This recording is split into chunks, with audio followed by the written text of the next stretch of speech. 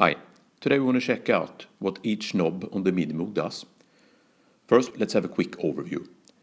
The Minimoog has three oscillators. These are fed into the uh, mixer, uh, where the volume of each can be set, along with the volume of uh, an external source and a noise generator. This signal is fed into a low-pass filter and an envelope.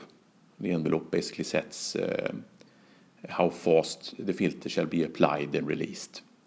Uh, then the signal goes into uh, the loudness contour, and that's basically the attack and decay of the volume. Now let's start off with the oscillator 3 and follow it through the uh, sound chain. Let's go.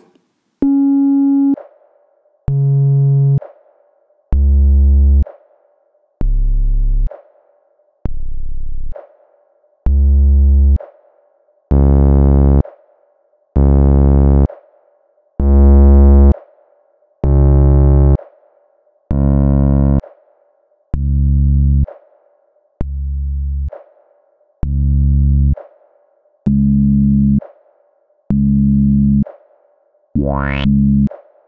Wow. Wow. Wow.